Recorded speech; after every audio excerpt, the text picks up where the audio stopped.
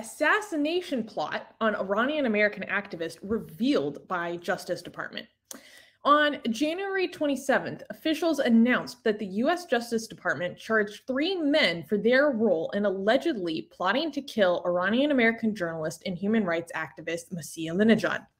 The three men are 43 year old Rafat uh, Amirov of Iran, 38 year old Polad Omarov of uh, Czechia and Slovenia, and 24 year old Khalid Mehdiyev of Yonkers, New York. The three men are reportedly members of a Eastern European crime syndicate. Alinejad said, quote, I want to tell you that the Iranian regime thinks by trying to kill me, they will silence me or silence other women. The Iranian mission to the United Nations and the Iranian state media did not immediately comment regarding the charges.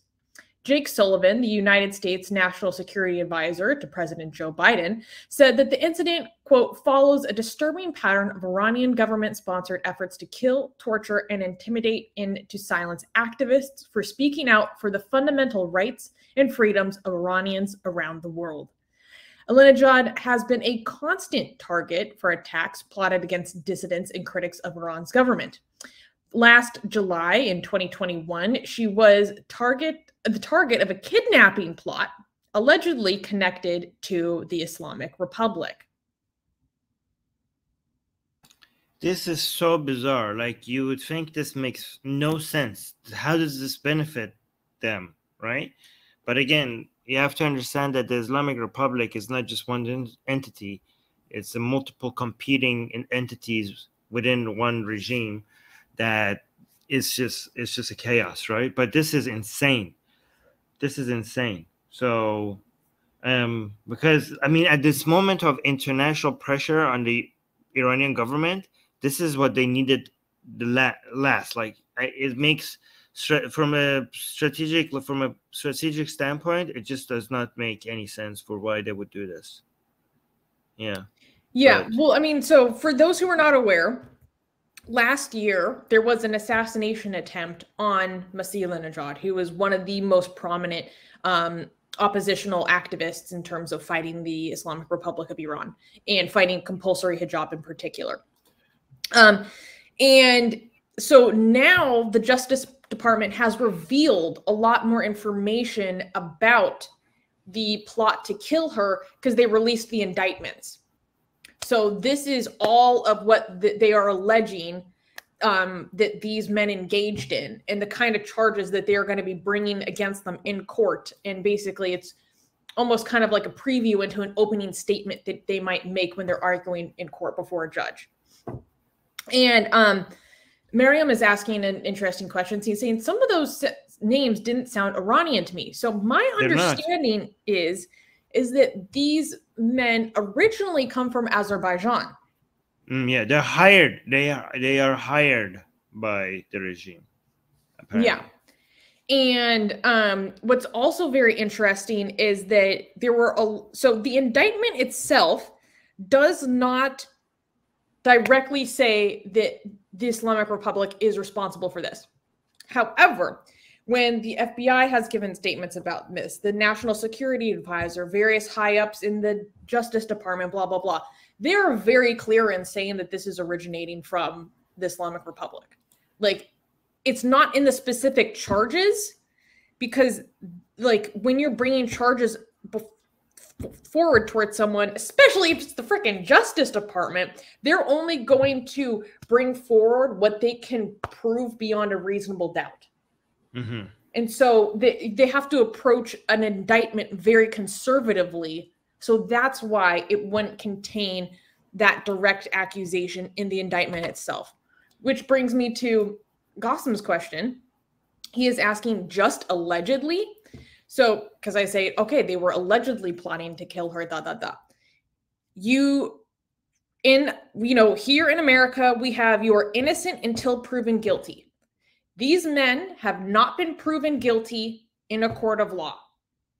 They are have accusations and allegations levied against them by the US Justice Department, but they have not been proven in a court of law. So that means that at this point they are still alleged. That's right, Kazem. Here in America, in America, we have actually something called standards. I'm sure you don't understand it. Back from your Persian Empire. I know this goes oh, right no. above your head. Here in America, we do things right. That's tell them, Susie. and that's actually really funny. One day I was hanging out in the Atheist Republic Persian Discord with everyone, and they were watching um a Persian dub of Tr- Twelve Angry Men, which is a, a really old-fashioned you um, American movie about 12 jurors having an argument about if they're going to find a man guilty and everyone in the chat that I was hanging out with, with, talking about like, oh my god, this is like a dream for us, blah blah blah. Like, it was very interesting for me to be hanging out with all these people from Iran, like watching what our justice system was like. But, anyways, um, Mustafa had kind of a funny question, a comment. He said, I lost count of how many times she escaped death. She's the Persian Rasputin. yeah seriously they are after her. Um th- there was um something else i wanted to mention. So when when all these high up government officials and various agencies were making statements on regarding this case one person in what department they come from i can't remember off the top of my head but made a very interesting statement about how in cases like this we are seeing a merging of criminal organizations and rogue states. Because the Islamic Republic of Iran is a rogue state. And so now they're going beyond just their, I mean, they this is their entire history, right? But this is like on a new level and it's contemporary. But um of, of literally just straight up using criminal organizations to further their aggression on American soil. Yes. It's wild. It's crazy. It's crazy. Um. Anyways, just new uh new merch. Just no, no, not new merch. New poll just dropped. Do you guys want to see merch? I know it's have some purpose. guys, new HUD um, poll just dropped just yesterday or two days ago, and we the hottest data of 2023. Yes, yes. Because yes. here we geek out for some data. Get excited, guys. No, actually, this is exciting. Legitimately. This is pretty cool. This was pretty impressive. Okay. Uh, we were on the Persian show. So, for people who don't know, Atheist Republic also has a Persian show. Uh, we we we go live there now you know six times a week now almost like five or six times a week so we're doing a lot of lives there right anyways we were like going through these data like we went through it from you know top to bottom. Like we we spent around two hours just analyzing this data which is amazing. This just came two days ago and it's making a lot of you know noise on iranian social media. So this is pretty cool right? So i don't I, i'm not going to be able to go through all of it. I'm just going to do a selective few. Which ones do you like to see the most? Let's actually look at the main thing that people want to see there is right? so much to dig into this new data in the graphs. Oh my god i went full geek. Yes. By the way we full geeked out for this is a scientific this is an academic poll. It's a scientific poll done by um, and and we went through the methodology on the show as well for people because people are like, eh, but the samples will be biased because people are mostly answering from outside the country and stuff. So we went through the methodology and we showed how people how they. Um, you know how they clean the sampling size and how they try to reduce the biases and how they use like the Pew's um, method, uh, scientifically proven method of cleaning the data and what is it here, like yeah they do the the different methodologies that they try to adjust everything to match the um, actual surveys from the country. So they you know yeah anyways you could go through the methodology to see how much it's trusted.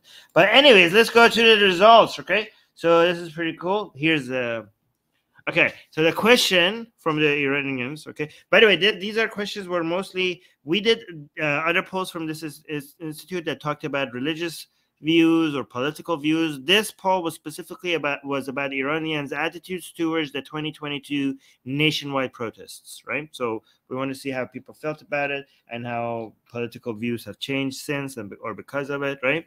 So the question was if a referendum were organized on the question Islamic Republic yes or no, what would you vote? Okay? So 80.9%, so almost 81% of Iranians have answered no to the Islamic Republic. 81% of Iranians voted no to the Islamic Republic.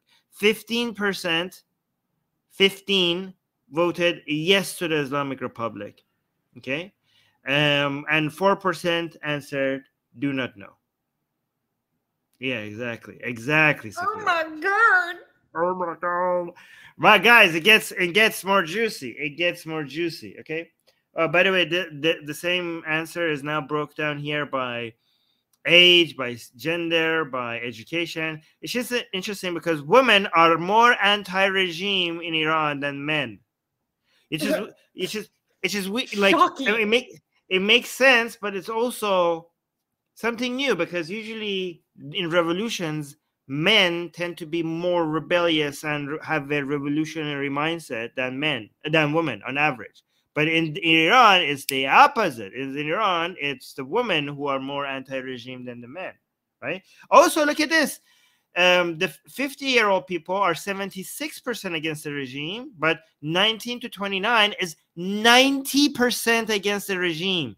So when this generation replaces the other ge um, generation, this number is going to increase against uh, against the regime. 90%. Any everybody against 29. By the way, below 29 is half the country.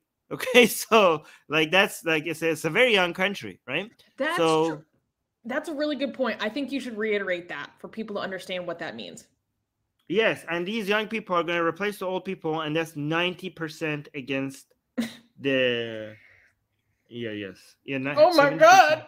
Oh my God! Wow, seventy. So Mariam is saying seventy percent of Iran is under thirty-five, right? So this young people are going to replace the old people, and it's going to be even more uh, anti-regime. But let's go, let's go, let's go, let's go. There's so much data. I'm not going to share everything with you guys, right? Um, by the way, us Republican by Republicans, I don't mean American Republican. Okay, Republican. I mean in Iran, in the context, context of Iran, Republican means people who don't want a monarchy, right? So people who want the regime to fall there, we are two groups of Iranian. Some of us want a, a constitutional monarchy to back come back uh, to come take its place. Some of us want a republic to come back. And us Republicans in Iran, we have we we have defeated these poll shows that we have defeated the monarchists by a huge, huge, huge, huge margin. the Shaloa here receiving. Oh, here. Yeah, look at this. Look at this. Okay. So it, this doesn't this cuts the uh, republics, the people who want a republic, into two two groups. Which, if it added them up, it would show that we're so much more than the constitutional monarchies, right? So, president, the people who want a presidential republic, the people who want a parliament, a parliamentary republic, and people who want a constitutional monarchy, right?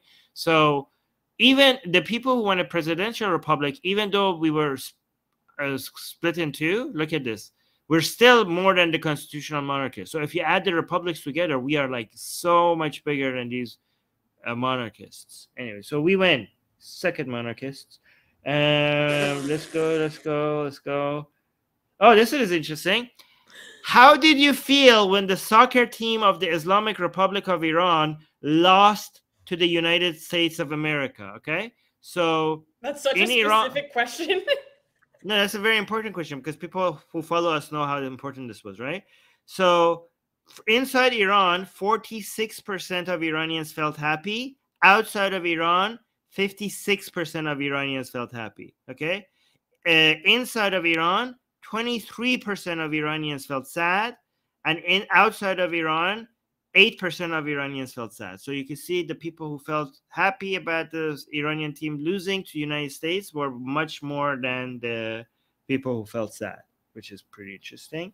But here, this is think of the formation. Okay, this these are stuff that you guys wouldn't know. These are figure people who you do not know. So I'm not gonna bother you with that. But I'm not gonna bother you with this one. Oh, this one is cool. Okay, so imposing sanctions. I'm just going to read the sanctions part, okay? Because this is what people keep asking me. Like, how, Armin, you keep saying Iranian people want the sanctions. How do you know? How do you know? Now we have something. That, I mean, that's a good question. I don't want to make fun of you, okay? Uh, how do you know? That's actually a legitimate question. But now we have data that we could refer to from both inside of Iran and outside of Iran, right? So I'm just the rest of the things that, oh, I'm just going to read two of these, okay? So, the question was In response to the protests in Iran, Western governments may respond with the following actions. What is your view about each of these? Okay, so the first question was imposing sanctions on officials who play a role in suppressing the protests. Inside Iran, 76% of Iranians agreed with that. Okay. Outside of Iran, 98% of Iranians agreed with that. 98%. Okay. So, and then the last question I'm going to, eh, the question at the bottom, I'm, I'm not going to go through all of this. The people who are saying ending negotiations to revive the, the joint nuclear deal, JCPOA, JCPOA, inside of Iran, 62% of Iranians agree with that. So, to end the nuclear deals. Outside of Iran, 89% of Iranians agree with that. Wow. Yeah. But so, what I think what really matters is like we can put a lot of consideration to the people that are inside. And that is still an incredibly high number. Holy cow. yes, yes, yes. So um, people inside of Iran seem to be more in favor of executing the people after the revolution is over than Iranians outside of Iran. So there's that. Uh-oh. So so the question was imagine imagine living in an authoritarian state that oppressed and killed thousands. If the regime changes one day what punishments should the former officials receive? So the revolutionary execution by revolutionary executions means like no due process just like just go choppy choppy on all of them right? So inside of iran 16% agree with revolutionary executions. Outside of iran 8% of iranians agree with that okay Second option is death death penalty uh, only if a fair court reaches the verdict. Um, okay. Inside of Iran, yeah, uh, inside better? of Iran, better, yeah. Inside of Iran, 29% agree with that. Outside of Iran, 24% agree with that. Uh, third option is punishments other than the death penalty, like lifelong, uh, uh, life or long prison sentence. Inside of Iran, 24% agree with that outside of Iran, 48%, 49% agree with that. Uh, forgive it, forgiveness and general amnesty uh, inside of Iran, 3% agree with that. Outside of Iran, uh, 1% agree with that. Um, and then the last option, I have no opinion and legal experts should decide on the matter. Inside of Iran, 27 agree with that, and outside of Iran, 17% agree with that. Okay, so now we will go to the most interesting graph for you guys uh, for, uh, on this Save matter. the best okay. for last. Oh my God. Save this is what we're here last, for. Yes. yes. So the question was, which option comes closest to your political um, orientation? The good thing about this graph is that it looks at the change over time. Change over time. Okay. And look at the, uh, the four options were um, the red one is proponent of regime change as a precondition for change right? People like no negotiations with the regime no referendum with the regime just topple the government then we can talk. That's the red one. The, the next option is the blue one. Uh, proponent of structural transformation and transition from the islamic republic. These people also like the ones above they want an Islamic Republic to end, but they want structural transformation. Instead of like toppling the government, they want enough structural change enough for it to eventually not be the Islamic Republic. Okay. So this is kind of like um, reform, but a hard form of reform, like a, a, reform, a hard form of reform, enough for it for it to eventually not be the Islamic Republic, right? Then the, the, third option is also reform, but a different kind of reform. So it's proponent of gradual reform within the framework of the Islamic Republic. So this is also reform, but it's a softer kind of reform. It's a reform that it will maintain the Islamic Repu- Republic, but things will be better, right? Things will be improved. Okay. And then the fourth option is proponent of the principles of the Islamic Revolution and the supreme leader. These are people who think things are fine, they support the regime, and they don't want any reforms, right? Um, and then the last option is none of them, right? So what you can see is the dramatic shift in attitude since Mahsa Amini's murder. Okay, so you can see September 2022, February 2020, uh, so se September 2021, sorry, se September 2021, 40% of Iranians were for toppling the regime. 40%. On February 2022, 41.5% were for toppling the regime. Okay. And on December 2022, guys, this is only this is all within one year. Within one year, we went from 41%, less than one year, less than one year. We went from 41% of Iranians want regime change to 60%. This is a jump jump of close to 20% in less than one year. Not 20 years, not 10 years, not five years, not even one year, less than one year, a, a, a jump of 20%. This is insane. This is insane. I don't know how the regime can handle this. Okay. Furthermore, both reform options, the hard reform and the soft reform, both of them dropped. But the more significant part is the people who are pro regime, who, no, who want neither toppling or reform, they went from 8, 18% back in February 2022 to 11%. So, in less than one year, the support for the regime halved. Halved. This the regime has lost its base. The regime base support, which was 80%, it dropped to close to half of what it was in less than one year. This is why they're panicking. I don't know what what leg is this regime has to stand on anymore. It's insane. This is why they're panicking. It's really difficult, and this is half. And you saw the numbers. The younger people, this is going to have again in one generation if if the regime oh survives. Oh my god! It's it's it's guys. If you're a dictator, you need at least like a fraction of your population to be on your side. It's going to be impo- it's close to impossible to hold on to a regime with this level of unpopularity. Okay, so there's that. This is a sh- dramatic shift. Like we saw dramatic shift in religious attitude and political attitudes, and now we're seeing a dramatic shift. Oh, guys, this is an insane. I can't wait to see uh, shifts in religious attitudes in the past few years because oh my god yeah, well that, you know that they're looking into that as well because that's yeah. something that the GAMAAN Institute investigates um yeah. wow I mean there's just like so much to unpack here um yes and Miriam is pointing out that the first two the red and the blue are both saying no to the Islamic Republic in some yes. form or fashion it's just like how do we do that so really that yes. means 76% are saying no. to the Islamic Republic, yes. But yeah, but the blue ones are decreasing because the blue ones are like screw it. Like the the, the reduction in these people who, who want Islamic Republic to change through structural reforms. The reason why this is decreasing is because they're joining the red ones. They're like screw reforms.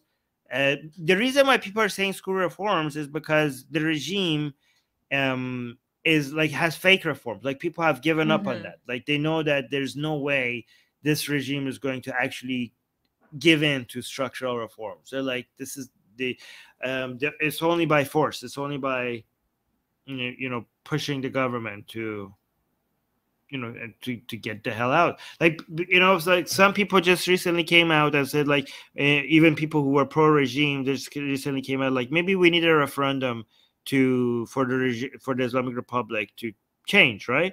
And Iranian, a lot of Iranian people are like, we don't want a referendum because the referendum would be done in the framework of the Islamic Republic. We will have a refer. We basically we don't want a referendum from the Islamic Republic.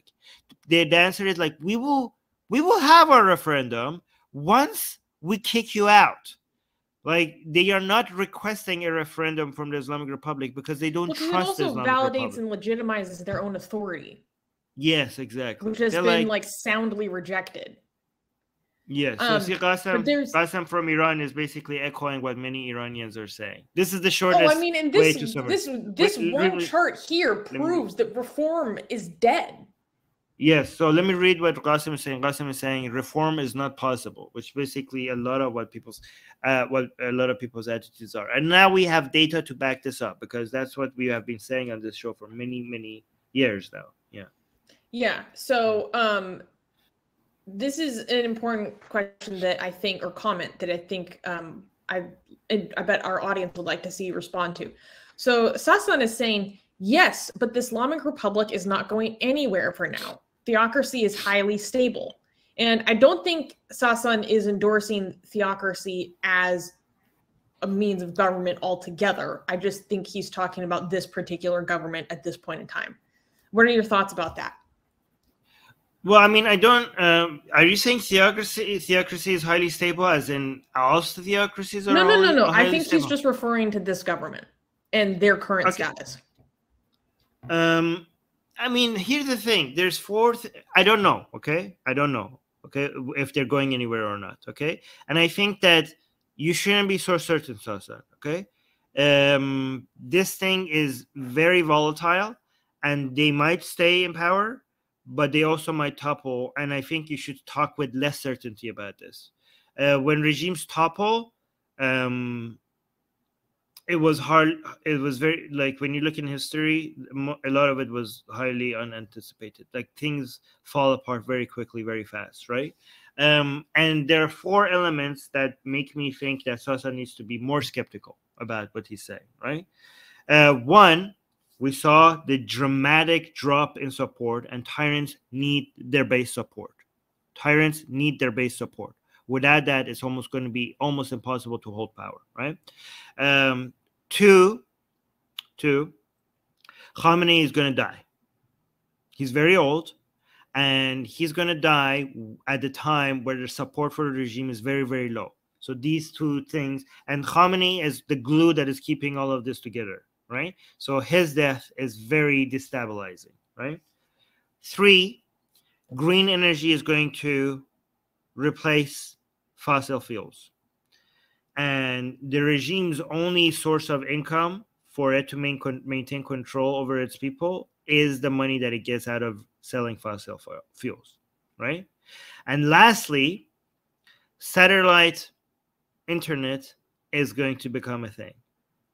And one of the main tools of control that the regime has over its people is the limitation of access to information.